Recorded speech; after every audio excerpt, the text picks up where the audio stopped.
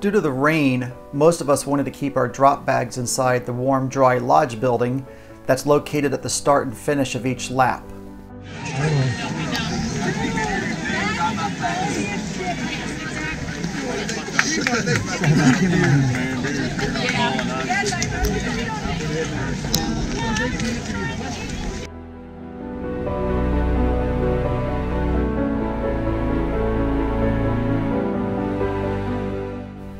Despite the rain, I ended up taking my rain jacket and putting it in my pack a couple miles into the first lap, feeling pretty good throughout.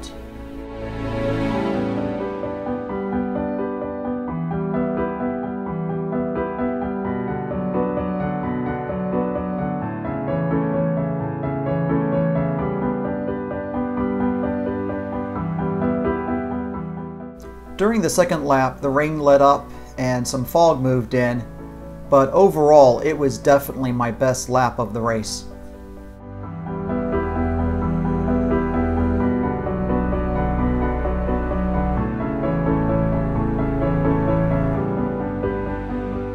I had decided that I was going to change socks every two laps or 25 miles, and so I took the opportunity to do that now. And as I went out for my third lap, I suddenly realized it was about to pour the rain, and I put my rain jacket on just in time and this is when the temperature started to fall as the rain got harder.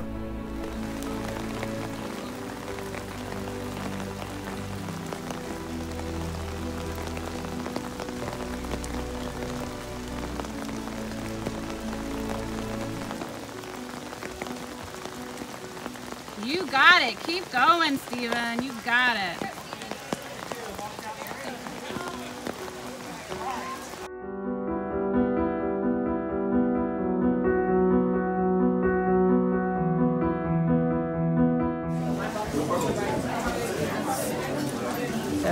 Just completed lap just three. lap three, didn't I? Huh? Yeah, just lap three. Right, uh-huh. No wonder I can't find that bag. You know, it's supposed to be delirious, yes. Oh, this weather. Not nice. It's a beautiful rainy run day. I'm from Arizona. Well, we keep we keep seeing people who are voluntarily running right now that we don't really understand. Like they're not in the race; they're just out there running. We don't get rain like this very often. Usually it comes with flooding afterwards in the washes.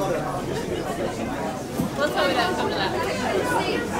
Well, half inch would do it for us. I think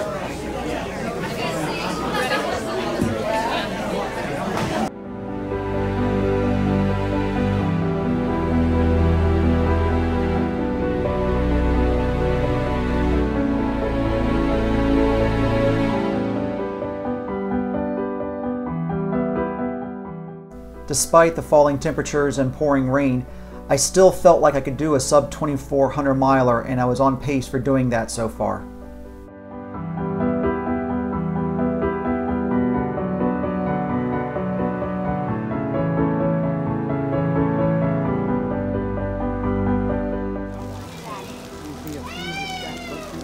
I've got orange gloves though. Or that.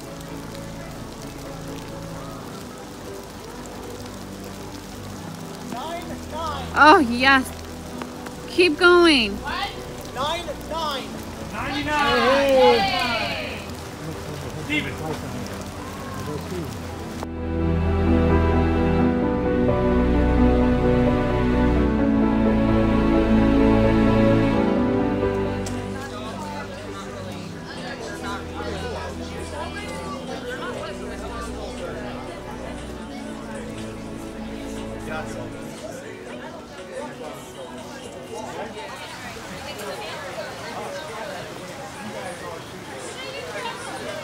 Please stop raining. Getting some hot chocolate.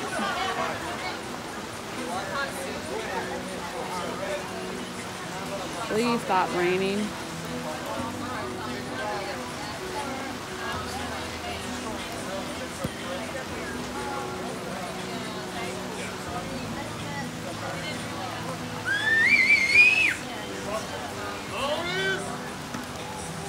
It was at this point I probably made my biggest mistake of the race.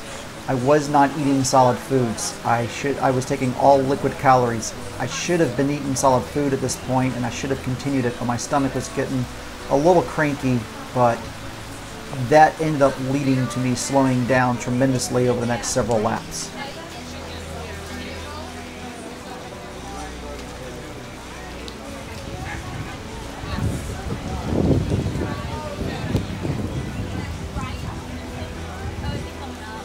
I think the issue I was having with my stomach was solely based on the fact that it was just so cold and raining and it just kept getting colder.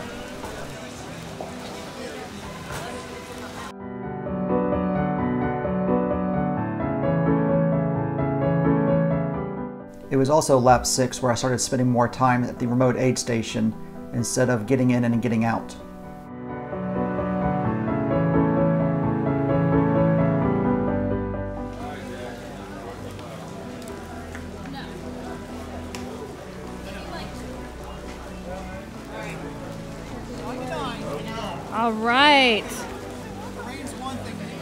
Back on. we'll work on that. You need any chicken broth brought Get to some you? stuff and come in, yeah. You gonna get your own in, or you want me to help you?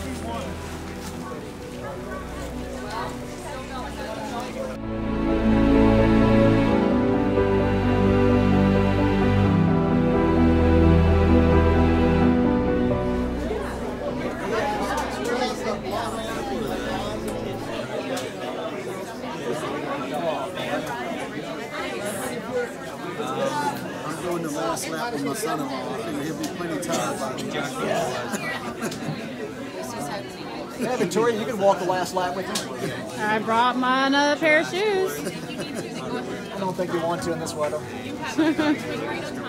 I barely want to do it. No, mentally I'm good. Physically I'm good. I'm just well, It's just cold, yeah. wet. I'm glad I. In this lap, I just had no power. No power. That rain starting out just took it out of me, and I had a couple of spots where I was running downhill and realized I wasn't going that fast. And I was like, all right, time to go into power walk mode. Yeah. Keep moving forward. Yeah, it's about finishing safely at this point. Do you know what's on that screen? Yeah, I was like, I don't know, should I stop here or not?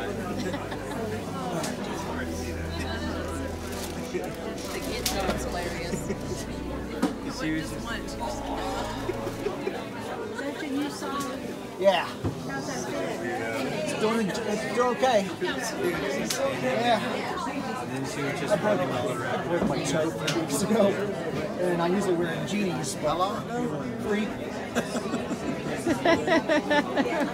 you know, you can say we know how to suffer. Too late to call it off. No, I don't. No.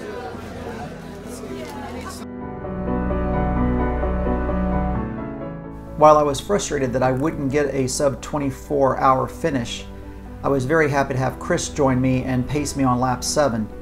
What neither of us expected was that the rain would turn into snow for a couple hours while we were out there.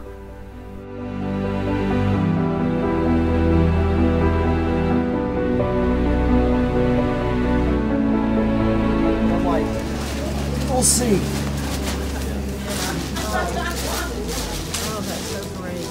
Yeah, maybe later this morning when it's daylight, I might, and I get a nap, I might do that before we head out. Do something goofy for him. Yeah, you, you seem, uh, you seem much more.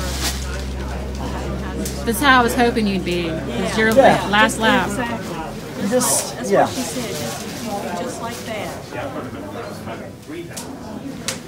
You seem more like I still enjoy yourself.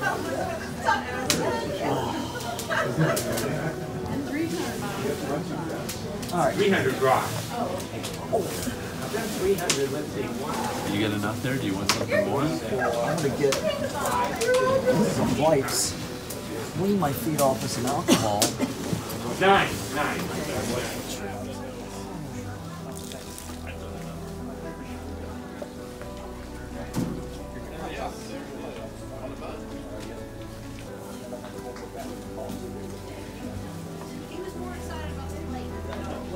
Thank you so much.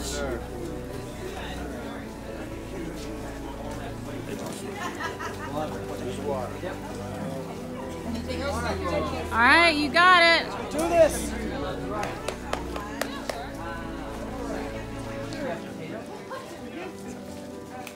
I head out on my final lap with a fresh, dry pair of socks. Since the rain had stopped, I wanted to make sure my feet were warm, especially as the temperature fell further and bridges started to freeze over. And then I send Emily ahead to make sure we get this. Take a step and wait. He's coming. He's coming. He's coming. I'm like, I know I gotta go. That's not going. Is he- That's just like, here you go. Yeah, Is it Emily? Is he doing okay? I'm doing fine. He's on his way. Okay. He's do- is he doing all right? He's doing fine. He's just tired. Did he stop at the aid station a long time? Uh, a little while. Okay.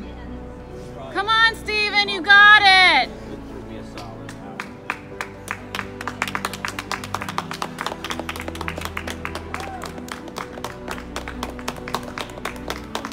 Come on.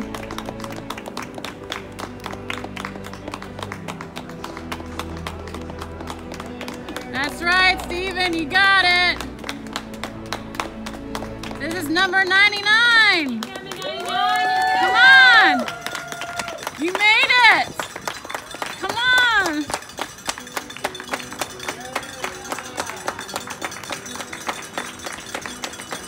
You made it.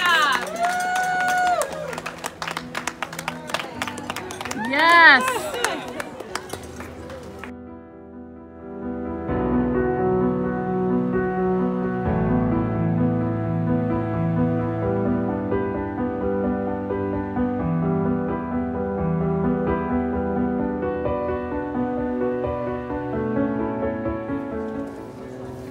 Best thing to do. That's right. Best thing to do. No quit. The, No uh, quit. You, oh, you have his results. Those are preliminary results. Okay. Uh, we'll have your the final results and your certificate, and pictures, and race information out to you when we mail it out Friday. All right, sound like a plan? But you uh, can probably find pictures from the weekend uh, on our Facebook page. I'll be Should there. be up there. I'll be there. today. There you go. Good job. Got it. did Thank you. Yeah, let's turn around and do a group picture for him. I can't thank my parents and sister enough for crewing me and supporting me all night long and during the entire race.